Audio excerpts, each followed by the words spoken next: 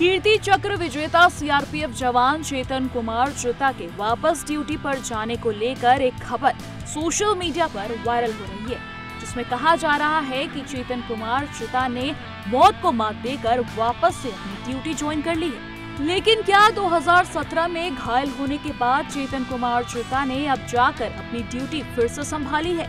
जब हमने इस दावे की जाँच की तो मामला कुछ और ही निकला।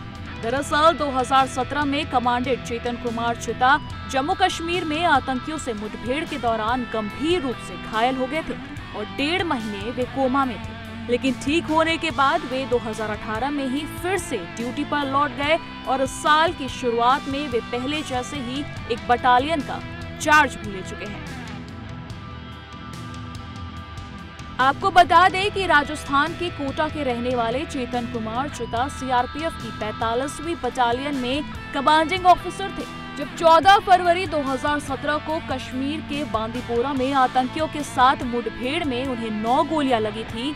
इस मुठभेड़ में आतंकी तो मारे गए, लेकिन सीआरपीएफ की टुकड़ी भी बुरी तरह से क्षतिग्रस्त हुई थी। 2018 में, यानी पिछले साल ही, चेतन कुमार चिता को कीर्ति चक्र से नवाजा गया था। News Desk.